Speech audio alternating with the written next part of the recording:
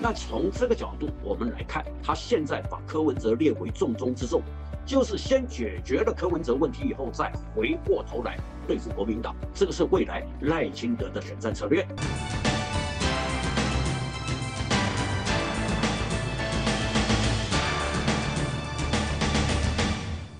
各位观众，大家好，我是有话直说的主讲人张有华。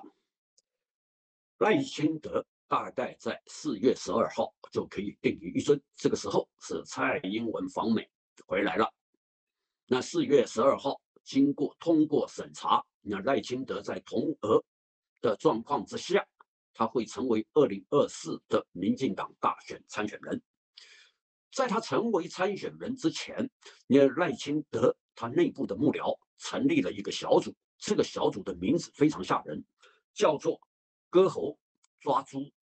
灭科小组，因为赖清德已经锁定未来国民党的参选人极有可能是侯友谊，那幕后的推手叫做朱立伦，朱立伦是党主席，然后柯文哲有可能影响到民进党的年轻票源，所以他们成立一个叫做割喉抓猪灭科小组，像类似的小组，过去民进党时代。好，他们只是提口号，没有进行真实的运作。那所谓喊喊口号，就是像陈水扁在一九九四年选台北市长，好，针对赵少康不理黄大洲，然后在二零零零年，好，连连宋分裂的时候，他的目标是紧盯连战不理宋楚瑜，就是说这些都是口号，也是一种选战策略的运用。但是没有像赖清德这样分工分的那么细。那好比说，在二零一九，他们有一个叫做“秦韩大战”。所谓“秦韩大战”的话，就是针对韩流而来。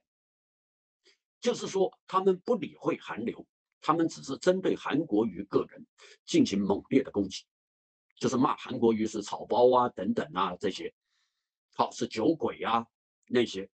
就是说，现在赖清德他有一个正式的呃组织运作，那过去是通过侧翼，那现在是有一个正式的组织运作，叫割喉抓猪灭科。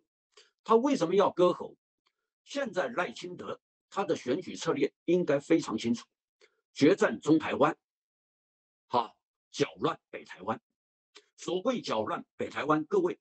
去看看，你赖清德最近的行程几乎都在双北，双北就是拔庄之旅，就是拔庄之旅。他希望透过拔庄的方式，能够减缓他在北部选票的压力。那至于决战中台湾，经过林明珍立委选举一役以后，他在北台湾啊不，他在中台湾引经委由新潮流的人士在帮他经营，在南台湾那就不必说。所以现在赖清德全部的重点几乎都是放在北部跟中部，但回过头来说，为什么要割喉？那所谓割喉，就是把侯友谊在本命区的庄全部拔掉。当然，能不能拔得掉，那是另外一回事。但是赖清德勤于拜访过去所谓侯友谊的庄脚，这是一个事实。尤其在公庙系统方面，你看赖清德做的是非常的彻底。那至于中台湾，就开始收编农田水利会。除了农田水利会以外，那新潮流的大军几乎都住在中部。那北部由赖清德操刀，中部是由新潮流操刀。那南部那就不用说。那从这个角度，他割喉，他主要是主角侯友谊跟中南部的联系。那侯友谊现在他也了解，他现在就是搞区域联防，就把二零二二的选举那一套完全拿出来。他完全拿出来就是搞区域联防，就是北北基桃移，先稳固本命区，以后再徐图发展，这个是他割喉的用意。那至于抓猪呢，就是专门制造朱立伦跟侯友谊之间的矛盾。那他用什么方式制造？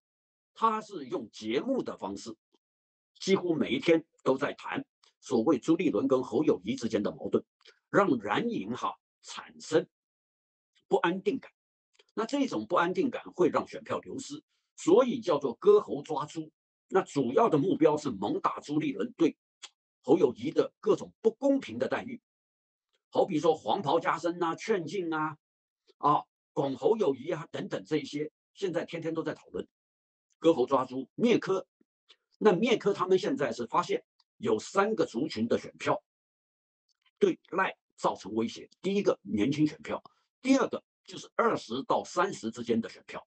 那所谓的年轻选票就是校园选票，因为柯文哲比较吸引所谓的校园青年，这些都有投票权的，所以呢，他们是希望比照二零一九年的方式，蔡英文他们走入校园以后，就是陆陆续续去收割这些青年选票。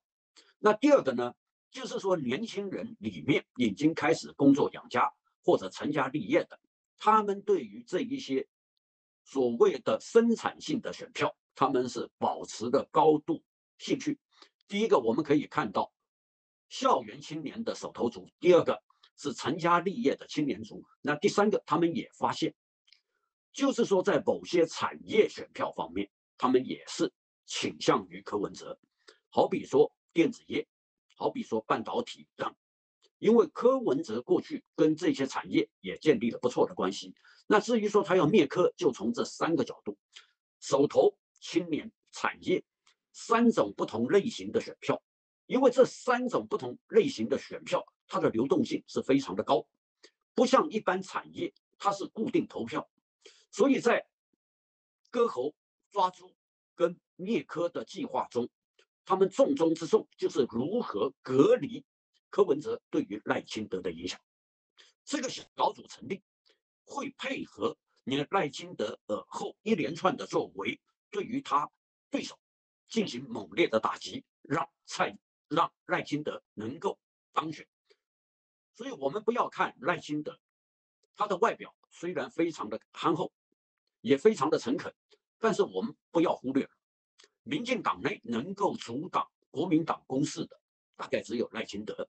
我们看在韩流那一场战役，他为郭国文一个毫无知名度的选举人，也挡下了韩流。那在在南投县大家不看好的情势之下，他居然让蔡培慧当选，就是足以说明你赖清德可以力抗国民党跟阻挡韩流。那从这个角度我们来看，他现在把柯文哲列为重中之重。就是先解决了柯文哲问题以后，再回过头来对付国民党，这个是未来赖清德的选战策略。